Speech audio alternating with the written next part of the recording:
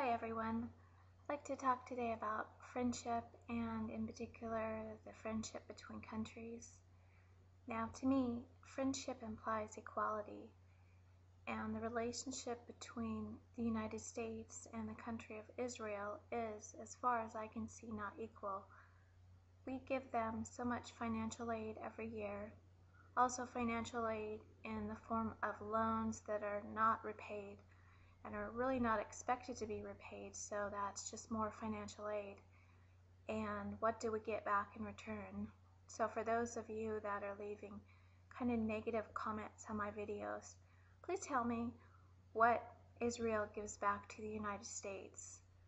Um, this isn't really friendship, it's more like a parasite, is when you're giving and giving and giving, and you have a friend that's taking and taking and taking and not getting giving you anything back in return.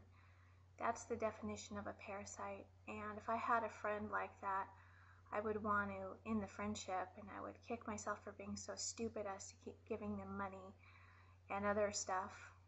Like we give them money, also we give them their weapons, their depleted uranium, and their cluster bombs in order for them to practice their terrorism on the Palestinians.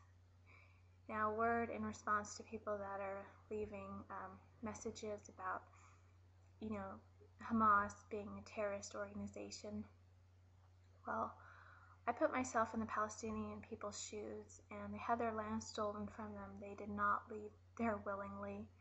If you don't believe me, read that book that I put up in my channel. Um, it was recommended to me by Jack Doodle 9, so thank you. I went online and I purchased it and um, it really showed me a different side of the Palestinian-Israeli conflict. And um, if people have their land stolen from them, they're forced to leave or else they get killed, they get massacred, they have their livelihoods taken away so they have no means to support themselves.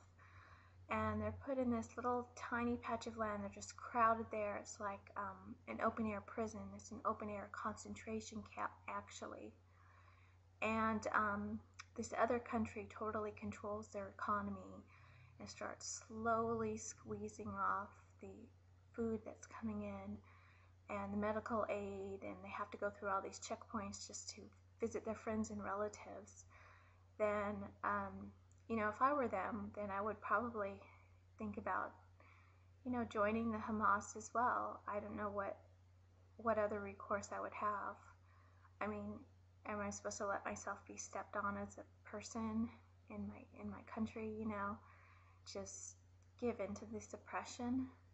What Hamas is is and PLO and all those other organizations, they're a reaction to something, they're a reaction to an oppressor.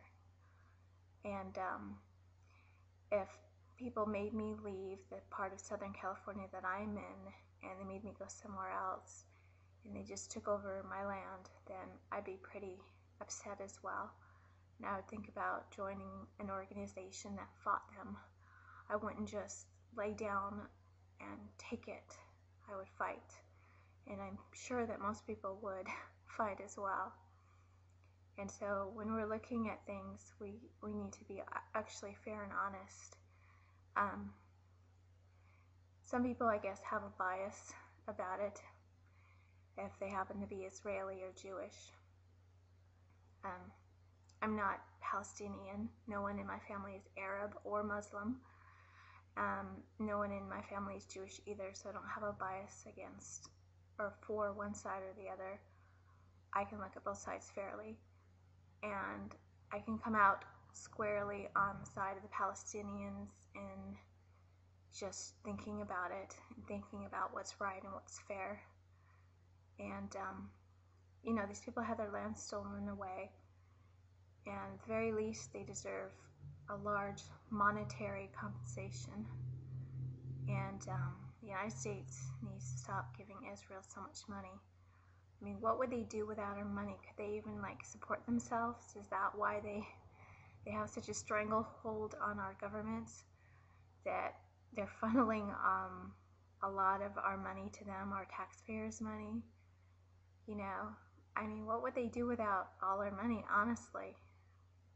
Could they could they support themselves? You know, and um, I think the answer is no. That's why they need our money so much, and uh, that's why they need our weapons so much. And the whole thing is stupid, and um, I hope that my government will actually come to our senses and stop giving them the support, stop giving them the weapons, and use that money to help support American citizens. You know, there could be job training programs, there could be um, food for kids. You know, not everybody in America is rich, and we could use that money too. So that's all I have to say for now. And I'm signing off, and everyone have a nice Sunday.